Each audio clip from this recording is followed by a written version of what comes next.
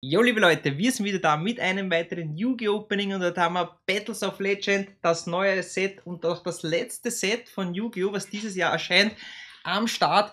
Geile neue Karten, geile Reprint, komplett, finde ich, unterschätztes Set.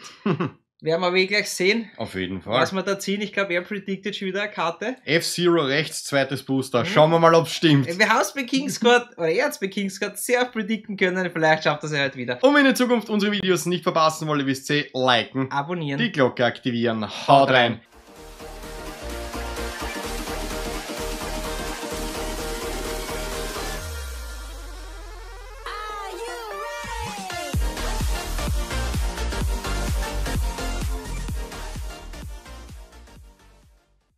da haben wir das schöne Stück, ein sehr farbenfrohes Display, Battles of Legend, Crystal Revenge.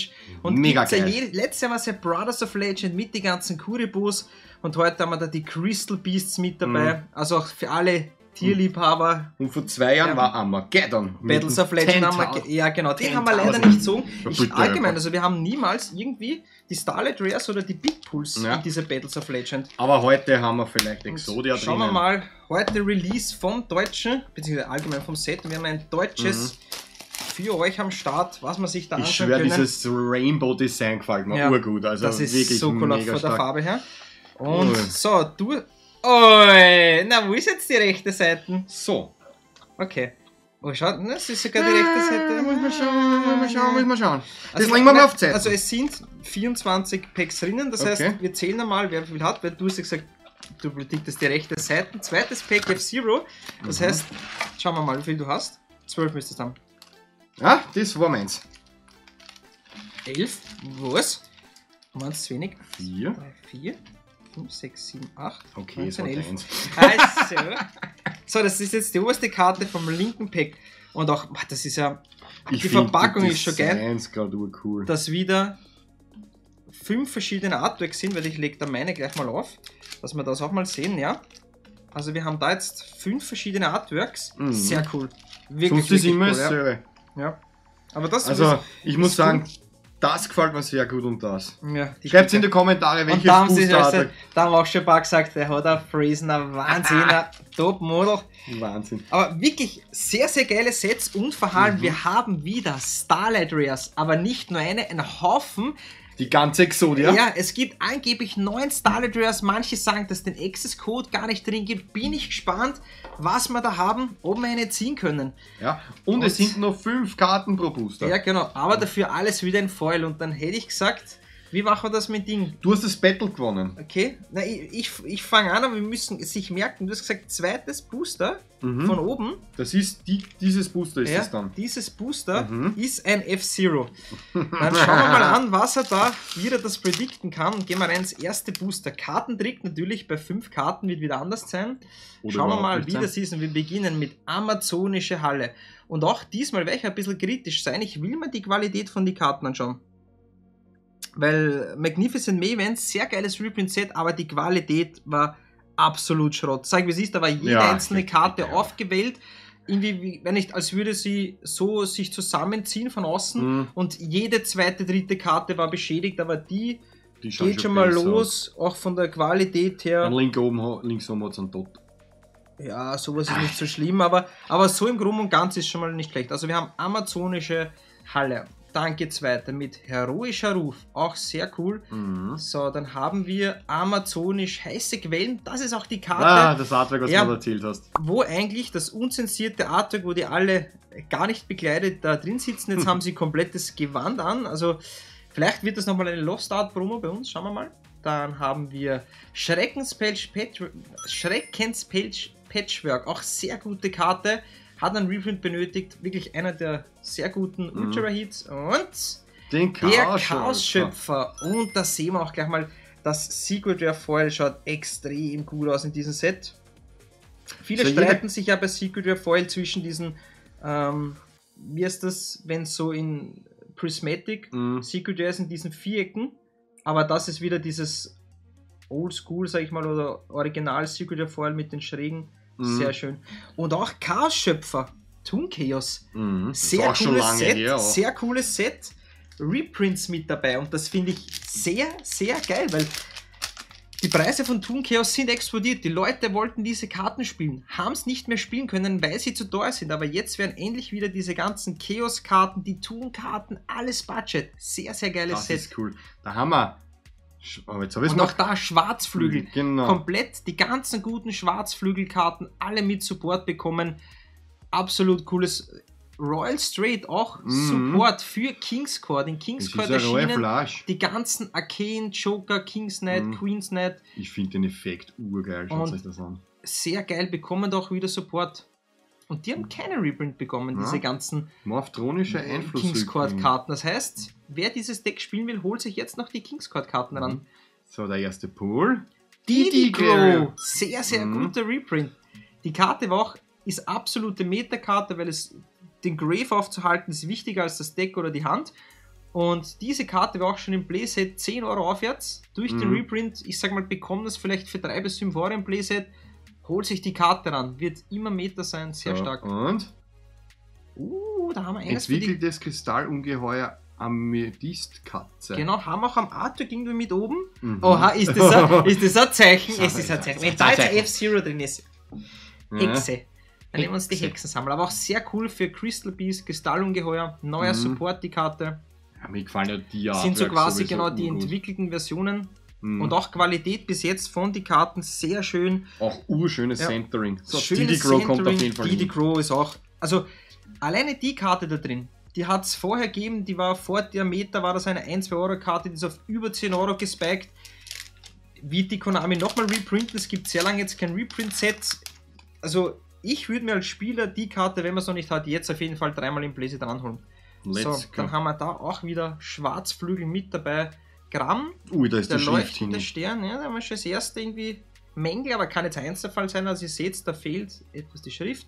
Aber Gramm, leuchtender Stern, dann Dünnerbasis. Dünner Basis, dann der Traumhai, dann haben wir sehr Nice, gute nice, Karte auch, nice. priesterliches Siegel, war auch schon wirklich wieder am Steigen. Sehr gute Karte, über für Drachen kann man die spielen, sehr geil. War, glaube ich, Ghost from the Past, der letzte Reprint im ersten Ghost from the Past.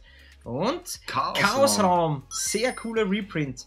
Richtig schön und auch da, das die Das ganze aus. Karte Das im schaut Foil. geil aus, ja. Also jeder, der Chaos spielen will, das, das Deckthema, Muss. ja, muss die Karte, war wirklich jetzt schon sehr teuer, eine Super Rares Toon Chaos, ähnlicher Reprint. Und das ist, also sehr viele Leute werden sich diese Karten, das ist- also bis jetzt schon nur die Karten, ich finde auch so diese Schwarzflügel nicht so schlecht, aber nur Mhm. diese Karten, diese Reprints, sehr, sehr gut schon. Habe ich Wir recht? haben jetzt, das stimmt schon, wir haben jetzt zwei Booster aufgemacht. Ja, sind noch. Das wären davor schon wieder Value gewesen, 30, 40 Euro an Wert, Ja. nur was da liegt. So, das Gravitationsgleichgewicht haben wir da. Also richtig guter Reprint. Dann glatte Zikade. Mhm. Eine Heuschrecke. Schwarzflügel Gal der Wirbelwind. Auch wieder. Schwarzflügelkarte. Mhm. Ich glaube, Gale spricht man den sogar. Gale, ja. Dann der Traumhai. Das schaut cool aus. F-Zero.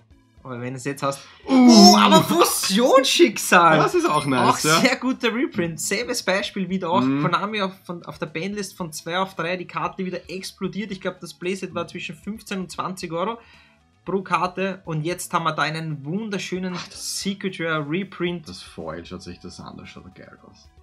Und wir kennen alle Konami. Konami kann jederzeit alles reprinten, wie sie wollen. Mhm. Und es kann sein, vielleicht kommt für dieses ganze Helden-Deck-Themen, ich sag mal, vielleicht nochmal Support, neue Bossmonster und auch, dann wird Fusionsschicksal wieder eine sehr gute Karte. Chaos Daedalus, auch finde ich sehr gute Karte. Wird zwar nicht so viel gespielt, aber auch für Chaos Deck sehr gut. Stell dir den jetzt in grün vor, was ist das? Äh, Das Rick Schubi-Wasser- Wasser, Rick, Na, na, der hat dann haben wir eines der alten Kristallungeheuer Saphir Pegasus. Das finde ich vielleicht ein bisschen schade, weil die eben jetzt in einem Structure Deck vor ein paar Mhm. Wochen am Print bekommen haben, aber ja, dann die Drachenkrallen.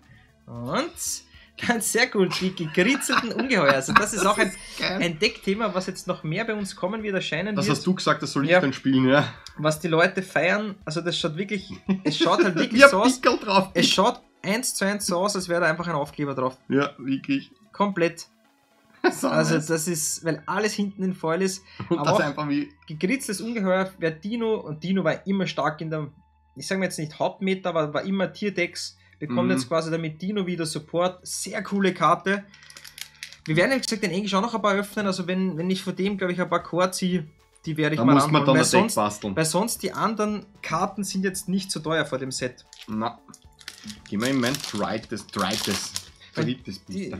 haben, haben wir alle Secrets herum? Ja, du mal alle Secrets Ich habe die Dinge Ja, unten und die Secrets um. Aber die guten Ultra Rares, ja. Kristallungeheuer Amethystkatze Also haben wir bis da wieder. jetzt doch jedes Pack immer so Karten, dass man sagt, ja, ein guter Wert oder halt gute spielbare Karten. Fortgeschrittene Finsternis. Und das finde ich auch bei den Sets irgendwie besser als bei die Hauptsets, weil bei die Hauptsets machst auf, machst auf, da hast mal fünf Booster Packs lang nichts. Und Mhm. einfach du benötigst nichts. Nur Bulk, ja. Auch da wieder Spielmarkensammler. Spielmarkensammler. Diablo. Sobald wir wieder irgendwie eine Meter haben mit Token, holt sich jetzt so günstig wie es geht eine absolute Side-Deck-Staple-Karte, wenn Token wieder mal ins Spiel kommen, dass man das einsammeln kann quasi. Mhm. Also, wie gesagt, Spielmarkensammler, sehr gute Karte. so. Entwickelte. Also das ist schon die Ding. Mhm. Das ist schon die Secret. Also ja. entwickeltes Kristall, aber da haben wir auch schon wieder beim E-Sobensmarkt. ja, ja, da, da, da fehlt es ein bisschen. Also bis jetzt haben wir zwei Karten Ja. gehabt, wo leider oben die Schrift fehlt, ist aber mal noch immer lieber, als wenn die Karten beschädigt sind, Mhm. Dellen haben, Kratzer haben. Also Aber schaut cool aus, Ja. gefällt mir. Ich bin überhaupt so die Art. Ja, eh, das ist so, halt- es ist- sollte auch in Yu-Gi-Oh! soll es auch nicht darum gehen, äh, man will nur das stärkste Meta-Deck haben, sondern wenn man so die Staples hat, wie so Diddy Mhm. Crow, äh, solche Sachen, die kann man in jedem Deck spielen, die Ja. benötigt man einfach und dann kann man sich die Archetypes ist außerdem Diddy Groß ein Schnelleffekt. Und auch sehr geil, Toons mit dabei, die Das ist Toon schon Harpier. lange, ja. Also jeder, der von uns aufgewachsen ist, Starterdeck Pegasus, das erste Mal die Toons auch mit der Serie. Und das Coole da jetzt ein Upgrade von Super Rare auf Ultra Rare. Kann man sich jetzt ähnlich dieses Toon-Deck Low Budget oder günstiger Mhm. anbesorgen, aber auch finde ich sehr cool. Dann fortgeschrittene Finsternis, Apparatkiste, dann wieder ein Token Collector und wir haben Ein- EN Mission, quasi für Elemental Hero Neos Support. Dieses EN ist jetzt nicht so gute Karte, aber auch, ja, ich sag, Konami muss halt nur ein bisschen was machen und sagen, so, wir pushen jetzt mehr die Heroes. Dann haben wir da die Traumzigarde. Dann Dünner Basis. Gigi Golem Kieselhund. Ist wieder Hund. Dann, was Mhm. ist die Ding?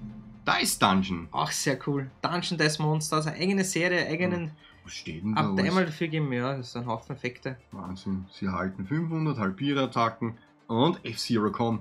Na, aber Tunlesezeichen. auch, Ja, Thun-Lesezeichen spielt man auf dreimal. Absolute gute Karte für Thun. Haben sich auch, war schon eigentlich teuer die Karte, 20 Euro rum. Die Mhm. Leute wollten es aber nicht spielen, weil einfach, ja, Zu teuer. zu teuer für ein Fun-Deck. Jetzt kann man Mhm. die ähnlich wieder Budget bekommen. Ich würde sogar sagen, vielleicht jetzt, ich weiß nicht, was werden die 3, 4, 5 bis 10 Euro kostet eine Karte in Secret Rare. aber trotzdem. Ja, sehr spielbar. coole Karte. Sie machen viele spielbar wieder. Also ich würde mir das, das Toon-Deck auf jeden Fall basteln. Das richtig. Vor allem Lieblingskarte bei Cluster Soldier. Und was gibt's Cooles, wenn du in, in Black Cluster Soldier spielen kannst? Sehr coole Karte. Eh schon ein bisschen was. Ja. So, dann haben wir da wieder die Nin Ninjitsu Kunst der Moskitos oder des Moskitoflugs, den Den Nummer Dyna 1 Basis. Dann haben wir den Dyna Panzer, dann wieder Dice Dungeon und wir haben entwickeltes Kristallungeheuer Topaz Tiger. Jetzt haben wir schon Ah, ah, ah, Jetzt haben schau, wir schon. schau, schau. den müssten wir dir? den müssten wir sogar auflegen. Also alle diese Artwork-Dings schaffen, schaffen alle fünf zum Ziehen. Ich Ja. würde es feiern. Ich würde gerade sagen, das war cool. Ich muss sagen, die Booster gehen schon auf Ja, und ich die bin. Muster sind sehr schön. Oha. Weil oft, das ist jetzt, hört sich, wir öffnen halt wirklich viel und es ist Mhm. halt oft so, dass man mit den Booster kämpft und die sich einfach nicht lösen, weil So. die so dick sind. Der Donnerball haben wir da. Dann, was ist denn das? Warte mal. Künstlerkumpel. Der Künstlerkumpel buntäugiger Seher haben wir da. Dann Auch Kettenkobold. sehr gute Karte, auch jetzt ein Reprint gekriegt, war auch schon 5 bis 10 Euro die Karte, je Mhm. nach Rarity. Dann Plünderpatrouillen Emblem haben wir da. Mhm. Und was ist die letzte? Oh, Evil Twins. Sehr cool. Und das ist zum Beispiel auch, die hat ähnlich jetzt nach zwei Jahren haben den Reprint bekommen. Mhm. Diese Karte zum Beispiel vor ein, zwei Monaten war die Evil Twin Kissy Kill im Playset auf 40 Euro. Bist du mal. Auf vier, also wer jetzt wirklich Hardcore pur Evil Twin spielen wollen hat, hat für die mit Versand 150 Euro zahlen müssen. Wer, zie- wer, wer, Wer zahlt das das, einfach so für gibt ein das Fun-Deck? Und wie gesagt, Ja. auch in der Meta mit Sprite sehr gut zum Spielen. Spielt man sie auch zweimal. Und jetzt bekommt man es endlich wieder für 5 bis 10 Euro. Also Gott sei Dank. Ja, also dieses Set, es sind so gute Reprints mit dabei. Da, da würde ich schon wirklich sagen, wer kauft sich dann noch Hauptsets und will sich wirklich Booster von Hauptsets kaufen, wenn man sich sowas kaufen kann mit nur Foil, richtig geile. Reprints. Alleine was da jetzt schon liegt, dass wenn, Mhm. was das davor kostet hätte, das, das hätte mehr kostet als das ganze Display davon. und jetzt kann man es endlich spielen. Also Traumhai, sehr cool. Dann wieder den Seher, dann haben wir da Morphtronisches ein plus rückwirken. Wahnsinn. Das heißt, Morphtronisch bekommt auch Support. Dann haben wir wieder Plunder Patrol, Emblem und GG. G-Golem, ehrwürdiger Trilith, der GG. GG. Da haben wir auch zum Beispiel im Magnificent Maven den Token bekommen. Mhm. Und Das kann auch sein, Nein, nicht Äh, kann auch sein, dass dieses, der G-Golem, vielleicht auch das ein spielbares Thema wird. Ich habe es mir selber auch noch nicht so angeschaut. Gibt auch jetzt noch nicht wirklich viele Deckprofile dazu, Mhm. aber auch sehr cool. So, die Apparat. Na, Apparat. Apparatekiste. Mit gut Stage. Du So. legst die daher. Hä? Du legst die daher, die, die, die Ultras. Die da? Ja, Achso. einfach so, random. Ja. So, Kristallungeheuer, Smaragd, Schildkröte. Was? Zweimal? Was ist das andere? Das andere. Okay. Das war die entwickelte. Also, dann die Drachenkrallen. Dann Senko, der Himmelsblitzstern. Und. Oh, Nice. einer der Short Prints. Ja. Kaliberlade Wilddrache, ja. Also sehr coole Karte eigentlich. Ich Mhm. meine, es gibt zurzeit sehr starke Synchro-Monster, die man halt spielt, aber auch sehr starke Karte. Uh, schau dir den Effekt gerade von der Schrift an. Und die war, glaube ich, auch zuerst auf 40, 50 Euro. Mhm. Jetzt bekommen wir es da wieder mal in günstig. Wird vielleicht mal die Synchrometer mehr wieder gespielt werden? Leg es falsch schon, Ja, ja. Okay. Warte mal, war denn der Kettenkobold? Der wäre cool gewesen. Und Didi Grow. Ja, genau, die war richtig, das passt schon. Was ist denn ein Kettenkobold? Moment, die Schurken. Ist den unten Klick? Die ist, die, ist, die ist noch cool. Also die finde ich sehr cool, wenn man die ziehen Mhm. will. Die, die Crow ist sehr cool. Na, wo ist denn ein Kettenkobold? Da ist ein Kobold. Der heißt Kettenkobold. Also. Schau mal da. Kettenkobold? Na, wo ist er denn? Ist der Luft aufgelöst? Hm, da ist er. da ist Der er. Hohmann. Okay. Sehr cool. Ah, Didi Grow muss runter. Und vor allem ich, ich will halt eh auch zum Beispiel dieses Kings, äh, Kings Deck spielen. Mhm. Weil da kannst du halt auch den Slifer spielen und auch die neue Karte mit dem Slifer zum Rufen. Und ja, und jetzt haben wieder die Jokers da ein bisschen Support bekommen. Dann haben wir die Chaos Valkyrie war auch in Toon Chaos mit dabei. Eigentlich auch, finde ich, ein cooler Reprint. Dann wieder die Schildkröte, die haben wir die im Starterdeck leider gehabt. Gravitationsgleichgewicht, Senko, der Himmelsblitzer und den Mhm. Lieferant von Ka- Kwaki Mairi. Aber der ist halt auch sehr gut. Der hat auch, das war der Eternity Code oder so. Der hat, glaube ich, auch zweieinhalb Jahre keinen Reprint bekommen, Ja. in keinem Set. Die Karte, eine der wenigen, sehr gestiegen und da endlich ein sehr gutes Monster. Reprint. Das ist auch so cooles Artwork, vor allem wenn man die so lange nicht sieht. Und in dem Secret Rare, das schaut schon gut aus. Das schaut wirklich gut aus. Na, aber sehr schön. Wir haben einen Nice. Kaliber Ladedrachen. Noch ein Didi Crew, ganzes Playset. Sehr Hast gut. du auch eine zu? Ja, Nice. So, dann Dann haben wir da ich ein gar nicht. Chaos, Daedalus. habe ich gar nicht. Nein, der Felshammer. Kampf, was? Schaut aus wie so Godzilla gegen so ein Ja, wirklich Kampf der schlafenden Geister. Ja. Was haben wir? Pool. Oh. Schwarzbart. Der Plünderpatronen Captain. auch so eine Karte sehr lang kein Reprint kriegt und Konami schmeißt das da rein. Also bis, also bis jetzt wirklich Mega. gute Karten, gute Mhm. Ausbeute. Das Set macht mega Spaß zum Öffnen. Alleine Teil Didi Grow zweimal. Ja, jetzt hab ich Vielleicht ziehen wir noch eine dritte. Ja? So, und dann haben wir Gravitationsgleichgewicht. Wir haben den Chaos Daedalus, für den wir jetzt schon Playset. Dann haben wir da auch. Kristallungeheuer, die Oh. Rubino Funkel, aber auch die Standard nur leider. Dann den Kampf der schlafenden Geister und den buntäugigen Rollendrache. Schaut doch aus wie ein Balk, ja.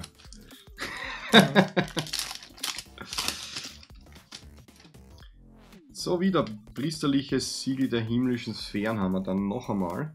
Mhm, sehr guter Dann Print, ja. Dice Dungeon. Dann Regenbogenbrücke. ja. Geil, Nice. Das ist was für mich. Nicht Ja. viel Text. das ist der Effekt. Mm, Nice. Dann machen wir einen alten Tiger wieder. Und Nummer Auch sehr 100 coole Karte. Meerendrache. Auch sehr stark für OTKs zum Drücken mit 9000 Damage. Also Ja, kannst du noch erinnern, da haben wir damals dieses, äh, wie wir online das TCG gespielt haben, das Yu-Gi-Oh!, was du auch halt viel gespielt hast, Ja. ich dir mal die Fotos geschickt habe mit 18.000 Schaden, Ja, ja, fix, das war der. 27.000 Schaden und so weiter. Also du kannst halt komplett die Karte pushen, ist halt für OTKs gut. Also Mhm. für Blue Eyes Decks spielt man den auf jeden Fall. Jetzt auch, ich finde zum Beispiel, ich werde noch wieder mal ein Blue Eyes Deck machen, weil mit, mit diesen ganzen äh, Magnamut und so, diese, die ganzen Handtraps Dragon, wo du dir Dragon searchen kannst, so, so cool.